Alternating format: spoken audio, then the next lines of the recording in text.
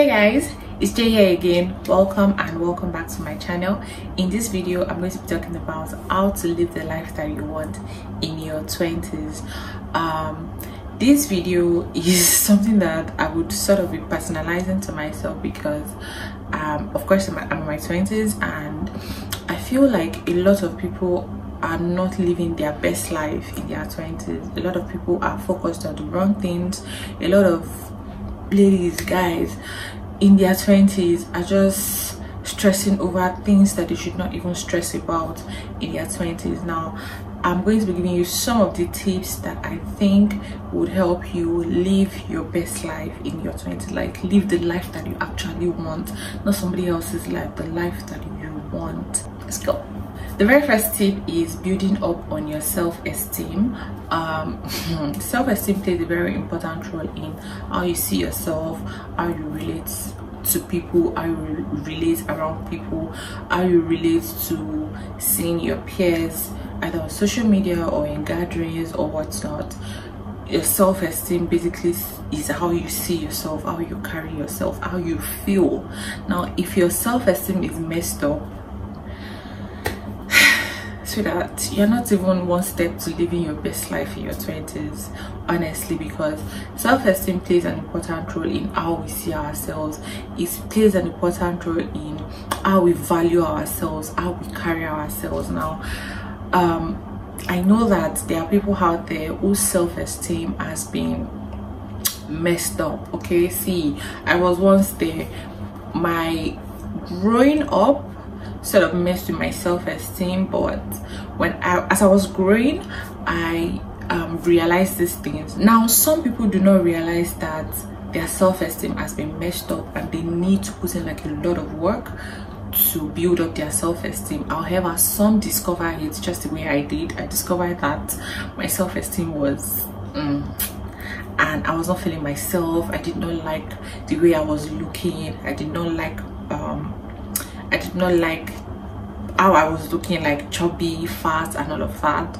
I it's not like I didn't like the way I was looking. I mean I was comfortable with the way I looked but the people around me always always always talked about my weight talked about how i was fat how i was big i was the one wearing the biggest size of clothes like when Oh, we all go shopping and all of that. How i'm the one who is always wearing the biggest size of clothes. You know how before they can get my trouser size is war. You know and all and like there were people aunties even strangers that's we just talk about your weight. You're you're i'm coming back from work randomly and you're seeing somebody calling you and you're seeing somebody calling me horrible like things like that just sort of with my self-esteem but it got to a point i had to tell myself that see yo if you don't work on this thing eh, nobody's going to help you work on it. So i realized what i wanted. I realized that i was more than what people were saying. I realized that there was more to me like my sense i have sense you know. I realized that i have sense like it's not really about how i look. It's not really about the clothes i wear. It's not really about finding the size of my clothes and all of that. It's just really about me like the inner me the peace of mind that comes with settling with the fact that this is me and nobody can be me and i can just be me. Like like any other person can give 10 f's you know? Any other person can go to hell you know i'm going to be me. And the moment i decided on that i started working on my self-esteem. Now um there was a time that i put out a video that i was going to be cutting down on my weight and all of that. That's not because i made that decision not because um there were people pestering me and saying all sorts of things about my ways. i made that decision because i wanted to. I made that decision because elsewise it was advisable for me too. Okay not because somebody else was not because of somebody else's opinion basically okay? So all i'm saying is look look out for what just works for you. Look out for what can bring your self-esteem up. Look out for how you can build your self-esteem back. If you need to get help please get help from somebody that you trust somebody that you can be accountable to somebody that can guide you that can help you when you feel down. You can talk to the person and all of that because your self-esteem plays an important role in living your best life okay? And the second tip that i have on living life that you want in your 20s is focusing less on social media. See social media is a borrowed space. Let me just tell you and social media is a is a um i like to say like you see what i want you to see. Yeah you see what i want you to see. Okay so look at this video right now. You guys would not believe the mess that is here like in this whole space because I had to film this look I had to do my makeup I had to do like um, content for my Instagram page you know and what's not before I even started filming this video so you guys you cannot want to like you can't even imagine the mess that is going on around here but it is what I want you to see. It is what I want to be in the frame of my camera that I'm allowing you guys to see. So just think of social media like that really. Social media is just what that the aspects of their lives that they want you to see. So when you focus on social media when you see your peers that are doing really well quote and unquote yeah I mean we're doing really well like legit real life and all of that but bro don't focus yourself don't focus on social media. You know there were times that I, I was always on social media i was always looking at oh who's traveling who is getting an iphone this who is buying a car who is building a house whose parents are doing this whose parents are doing that. And i ask myself and say yo baby girl how are you sure that all these things that you are seeing are you sure that they are real? How are you sure that they are real? How are you sure that it's not for the gram like some people will say how are you sure that it's not for the gram? So please stop focusing on social media. I'm saying don't go on social media don't interact with people and whatnot. That's not what i'm saying. All i'm saying is don't put don't pay too much attention to things that you see. Because again it's a borrowed space. Now the third tip that i have to living the life that you want in your 20s is having multiple streams of income cannot emphasize over emphasize this. Now having multiple streams of income sort of it sort of empowers you. It sort of puts you in a place where you can afford things that your peers are supposedly able to afford. Having multiple streams of income helps you to live that life that you want helps you to afford things that you want those makeup products that you want that dress that you want from pretty little things or your friends are doing Shein haul and you've never done a Shein haul on your on your channel. A multiple stream of income will help you do that okay? Like you want to go out with friends you want to have dinner you want to be able to buy yourself a really nice birthday present and all of that. Just the way some people are doing right? Just the way your friends are doing just the way your peers are doing just the way your, people in your age group or people that are not even in your age group are doing. And you're wondering like i'm even older than this girl and she's doing this she's doing that. Like yo why can't why, why, why can't i do that? Like why can't i do things like this at my age? You know that sort of thing. Let's not lie. It's me and you eh?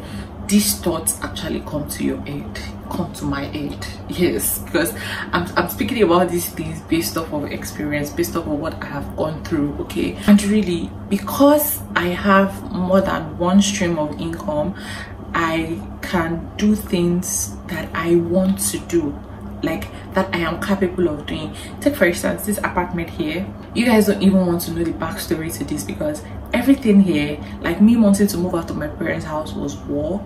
it was serious war. So they did not give me a dime. Yeah.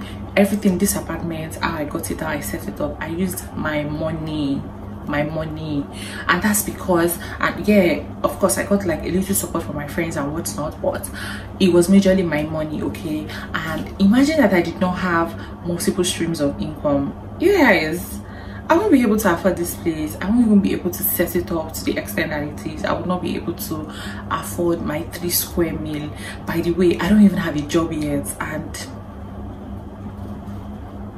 like i'm living my baby girl life i'm not there yet. Let's be clear. I'm getting there but however it's safe to say that i can afford the things that i want. It's safe to say that i can go out if i want to go out. I can order for whatever it is that i want if i think it is important at that point in time. So giving you having multiple streams of income just it makes you a boss makes you boss so please whatever it is that you do make sure that you do not just have one stream of income like don't sis don't bro don't. Okay. and the fourth tip on how to live the life that you want in your 20s is do what makes you happy. Hey can you hear me? Do what makes you happy. See happiness eh, it has a way of making you glow glow baby. Somebody call me gloria. Gloria. Hey happiness has a way of making you glow. Happiness has a way of making your face change. Happiness radiates in your character radiates in how you treat people how you relate with people. Just do what makes you happy. See i cannot say what makes you happy. I only know what makes me happy. And so far baby girl i've been doing what makes me happy for the for the past two three months now i've been doing what makes me happy irrespective of anybody's opinion thoughts on how i should do things on how i should live my life on the steps that i should take and what's not. Do what freaking makes you happy because it is your life and nobody is living your life for you. See these people that are going to be giving you opinions and judging you and saying all sorts they probably lived their life okay? They're probably elderly ones like let's even assume that they're in your age group. Well that's their life that's your life this is your life okay this is your what this is your life so please take your happiness seriously i beg you i don't i don't i, I don't know I to say this, say this, but your happiness is priority. Your happiness is key. Can you hear me? The last but not the least tip that I'll be giving, in fact, I would not finish talking about all of these things without mentioning involve God in everything that you do. Hmm. Fun fact here I am not the most religious person that you will find on this on, on, on my street or in my apartment, like in my building and all of that, or in a gathering. I am not the most religious person, but see, I have a relationship with God, I have a relationship with Allah. If you are religious, by the way, okay, if you are religious, I have a relationship with a supreme being, really, because see, you guys like i said i'm not the most righteous okay? I'm not the the spotless sinless child of god okay? But yo the way god has come through for me in the last three months i'm blown away. I am freaking blown away like i cannot imagine if he had not been god if he had not if god had not allowed all of this to happen I'll be nowhere really. I would be nowhere. In fact, I'm, I'm even saying in the last three months, in the last three years, let's just like, let's go all the way back. In the last three years, God has come true for this baby girl that you see here. God has come true for me so freaking many times. And sometimes I just sit there and I'm like, I'm not even worthy. Like, like God, I'm grateful, but I'm not even worthy of all these things that you do for me. Yet you still, like, in your mercy, you still do all these things for me now. I'm not asking you to be pastor or imam or or the pope or catholic and all of that all i'm just saying is involve god in everything you do. A, like it could be something as simple as saying just a word of prayer. I don't know how muslims pray but i'm sure there's a way you could say a word of prayer like a short word of prayer. You know fun fact is sometimes when i wake up i get carried away with the activities of the day and things that i have to do that. All i can all i can just say is thank you jesus for waking me up. Thank you for my family. Thank you. Like i just say a very short prayer within a minute. And you guys that's really it for me. That's just all i have to say. And throughout that day god will just keep doing things that just only him can do. So in whatever you do please in all of these things involve god in everything you do if you are a religious person okay? So those are the tips that i have for you. I hope i found this video really helpful. Don't forget to hit the subscribe button give this video a thumbs up if you enjoyed watching and i'll see you guys in my next video okay